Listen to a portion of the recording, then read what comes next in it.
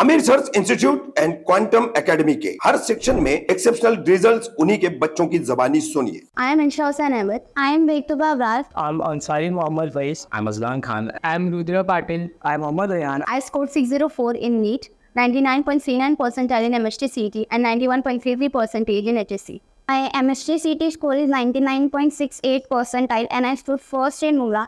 My NEET score is 563, and HSC percentage is 87.17 percent. I scored 91 percentile in JEE, 91.58 percentile in MHT CET, and 89.17 percentile in HSC or Cyber. And I scored 91% in 10 CBSE. And I scored 91% in ICSC board 10th result. I secured 91 percentage in CBSE board. किस्मत colony Khadija hall के पास नशेड़ियों, शराबियों का आतंक। शिकायतों के बावजूद भी नहीं आती है पुलिस।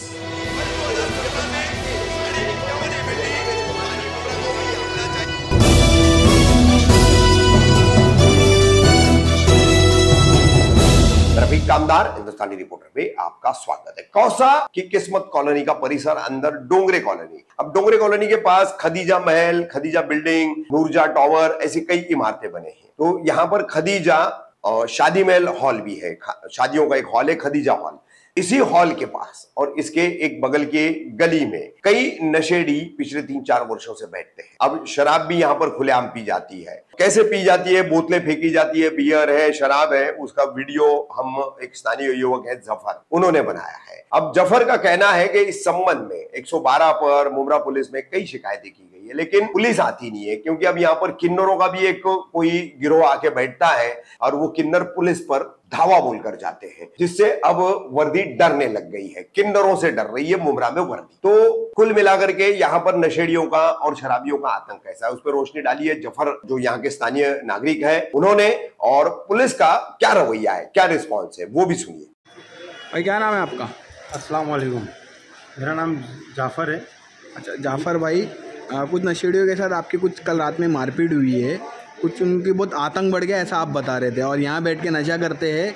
तो कौन है वो लोग? क्या नाम है और क्या हुआ था पूरा ये गली के ही लोग हैं यहाँ के मोहल्ले के लोग हैं। इधर आके ना सुबह से लेके रात के तीन बजे तक हाँ। यहीं चरस पीते यहीं कॉरेक्स पीते यहीं गांजा पीते।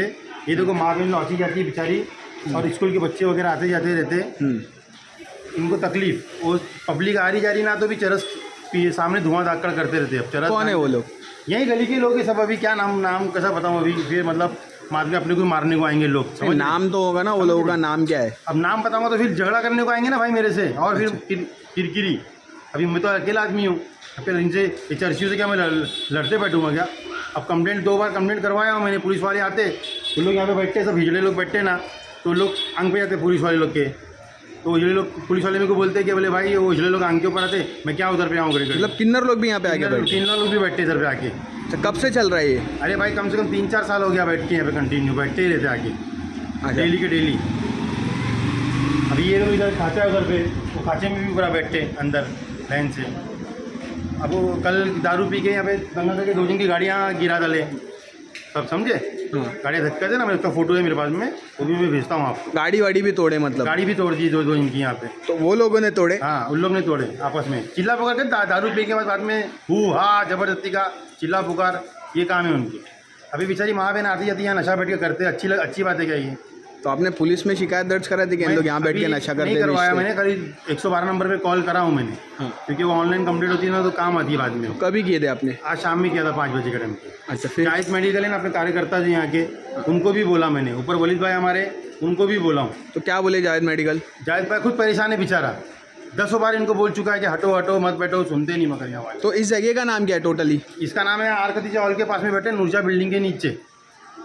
ये बिल्डिंग अपनी पूरी है हाँ। इसके नीचे बैठे थे इसके नीचे बैठ के हाँ, नशा करते नशा। रात सुबह दस बजे से रात के तीन बजे तक इधर ही है।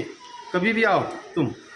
जाएँगे नहीं ऐसे लोग ऐसे। अब ये रनिंग ये रनिंग रोड है यहाँ से नसीम बाग आता है शादी में हॉल आता है सभी गली है पूरी जाने की पब्लिक आ रही जा रही इनके सामने हटेंगे भी नहीं कंटिन्यू पब्लिक जा रही कुछ फ़र्क नहीं पड़ता फिर भी चलत पियेंगे बैठ के सर पुलिस प्रशासन से क्या अपील करना चाहोगे इस मामले को लेकर? पुलिस को खाली आके लेके जाओ ना वो उठा के। फाइन मारो इनके ऊपर।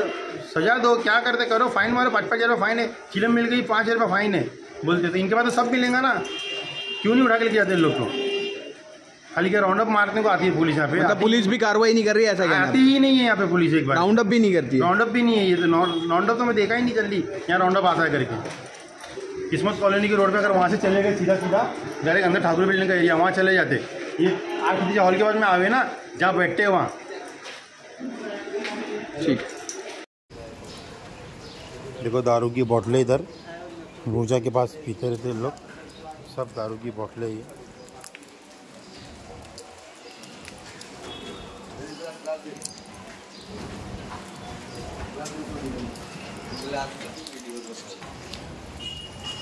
गिलास भी दारू का। यहीं पड़ा है गिलास दारू का। सारे यहीं बैठे रहते चर्ची। ये वट्टे पे बैठे रहते नूरजा है। नूरजा बिल्डिंग। R hall.